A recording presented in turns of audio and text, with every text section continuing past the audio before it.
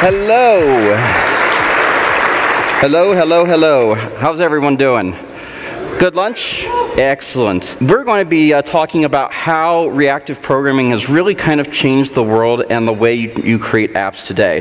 So I would easily say that I'm an RX pusher, uh, and what I'm trying to do is trying to relay how exactly reactive programming is really, really an interesting paradigm, especially for us in the JavaScript world. Everything about your apps today is asynchronous, whether it's your startup, your player, your data access, your animations, view model, model bindings, everything about your app happens to be reactive. What comes with that comes a number of things, such as uh, uh, nightmares that you had to deal with. Memory leaks. I forgot to uh, I forgot to get rid of my event handlers. I left a few uh, open.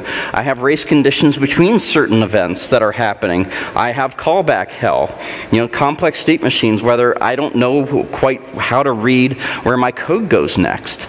And so you have all this disjointed error handling because of that, because you ha now have error handling in five or six different places for them that they realized that they could write their entire set of applications using one kind of language, as it were, which is actually language neutral. There's RX Java, there's RX.NET, there's RX Groovy, uh, Python, Ruby, Rust, you name it, and of course JavaScript. So what you always end up with a lot of the times is this poor kid trying to uh, uh, get the data after, uh, after it's long gone. Poor kid. But there are problems with that. For example, there is no innate way in the promises spec itself to handle cancellation at all.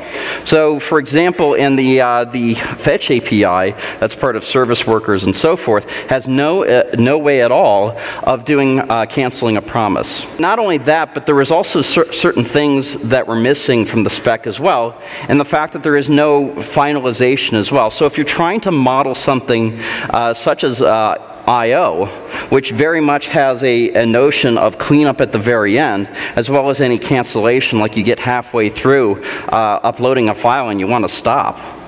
Well, then promises as specified today do not have that solution. So it's really the, uh, uh, what I would say is the subject observer pattern that they had, but done right.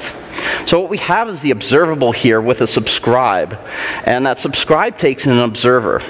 So that observer takes in, so it says, notify me when there's something next, when there's an error, and when there's a completion.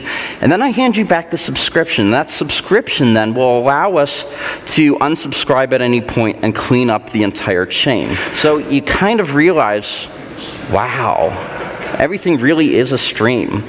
How many people have heard of Redux? Good number of people. Okay, uh, what if I told you it's only one line of code in RX? I would like to take off this hat for just a moment, and I really would like to make reactive great again.